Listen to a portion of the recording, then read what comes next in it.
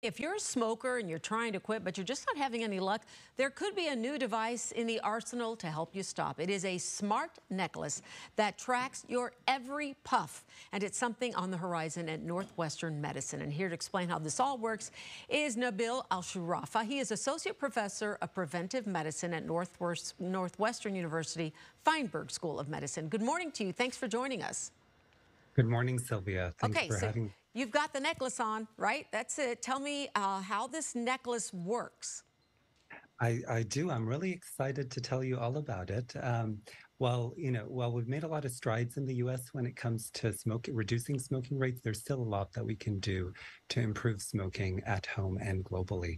And so my students and I were thinking about ways we can help people quit smoking. And we realize it's a slippery slope, right? People will slip it here and there.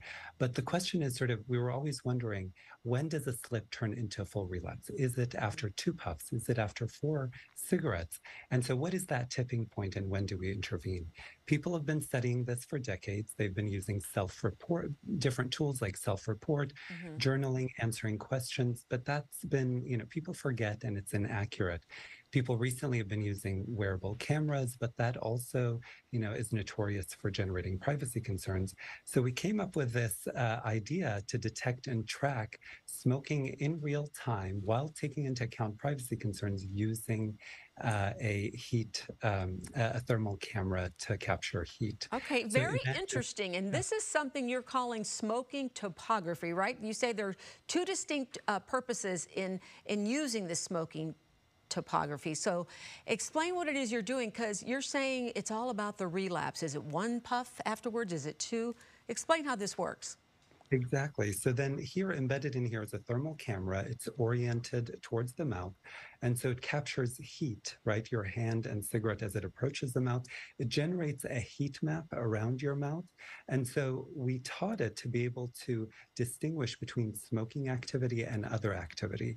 And once it detects a smoking activity, it uh, further analyzes the data to be able to generate puffs, um, puff duration, uh, time between puffs, also puff volume or how much chemical exposure you're inhaling. So the idea might be that, you know, you want to quit smoking, you join a program, they give you this necklace and an accompanying app. And then let's say you have a stressful moment and, you know, you take a cigarette or you, re, uh, you know, have a slip. Uh, the device will detect it and then send you a mindfulness text message or video to help you through that moment and remind you it's just a temporary setback and you know hopefully prevent well that's uh, good. yeah because for a lot of people they're thinking maybe that one slip oh never mind i quit but this you know i'm gonna i'm gonna keep smoking. So let's talk about this though. You guys have done clinical trials on this right? What is the how does this work? How effective is it yeah, so now we've tested this. Uh, you know, the first step when designing a wearable device is to validate it in a lab setting and in a real world setting. So now we validated it against, you know, certain standard measures to be able to measure and detect uh, smoking activity very reliably and smoking topography.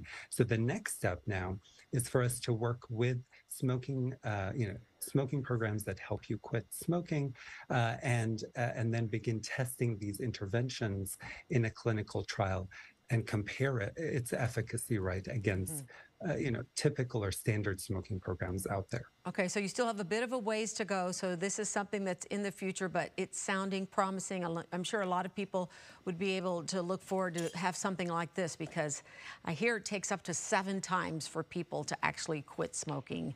Nabil Alshurafa, Associate Professor of Preventive Medicine at Northwestern University's Feinberg School of Medicine. Thank you. Very fascinating. Good luck with this.